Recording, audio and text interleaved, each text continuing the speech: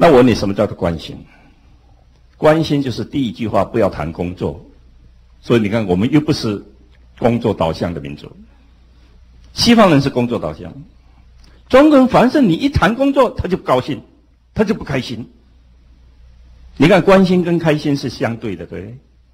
你一关心他，他就开心；你不关心他，他就不开心了。只要中国人不开心，他就情绪化，他就无言的抵抗。老讲中国人罢工是小事，代工才是严重。我们多少成本都是被代工带垮的，而不是罢工。罢工只是罢好看的而已。关心他，就是告诉他，我心中有你。所以我们的沟通几乎上都在表达心意。我们的沟通跟西方要把事情讲清楚是不一样的。世界上最会领导的人是谁？是刘备。你看刘家的人，这个对领导都很有研究。刘邦、刘备都很厉害。你看刘备有什么厉害的？刘备手下有个大将，大家都认识，叫赵子龙。赵子龙忠心耿耿。看到刘备一打败仗啊，跑啊跑到连阿斗都不见了，一个人跑到连儿子都不见了，可见很凄惨呐。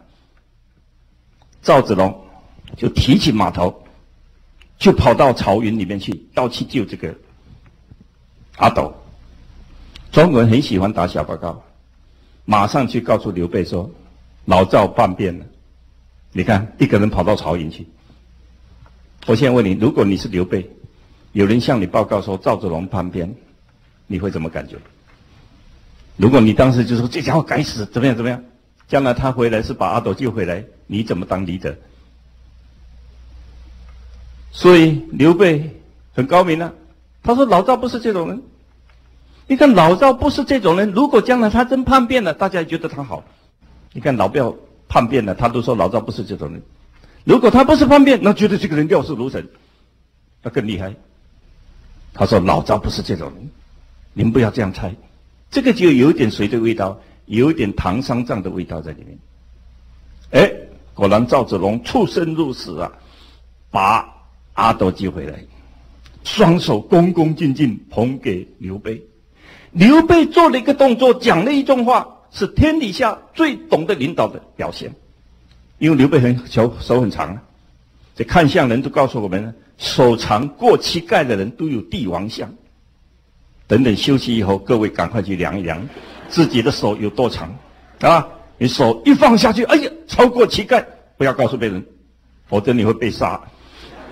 然后你就准备当皇帝好了。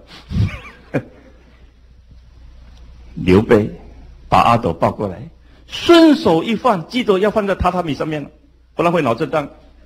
放下去。对不会听话的阿斗讲一句话，中国人专门对不会听话的人讲话，而不讲给会听话人听，这很厉害。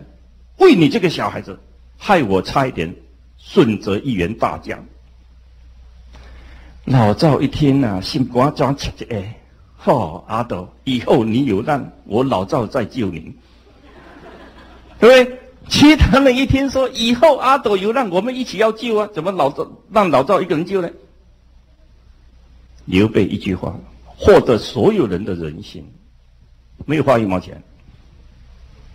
今天，如果刘备到美国拿那个 MBA 回来，他满脑筋都是制度化，满脑筋都是制度以外的一切规定，因为制度还有很多规定呢。然后讲一些很硬性的工作导向的话，你试试看，他一定讲什么话？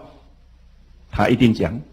快拿小儿金风散，因为说救命比较要紧呢，救完再来奖励啊！快拿小儿金风伞。然后赵子龙就想：阿斗，以后你有难，请小儿金风伞救你，我不干了，我不干了。那你要规条有没有不会小儿金风伞？然后所有人都说他们家的事情交给小儿金风伞了。人家老赵一条命快没有了，开口就小儿金风伞。你看一句话，失掉所有的人心。